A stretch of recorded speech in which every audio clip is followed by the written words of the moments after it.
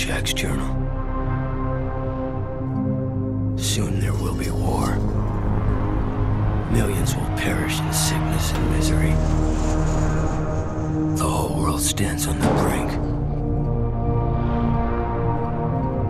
If the Russians do launch their nukes, can John really stop them? Yes. With the right leadership. What do you suggest we do about it? I shall go tell the men.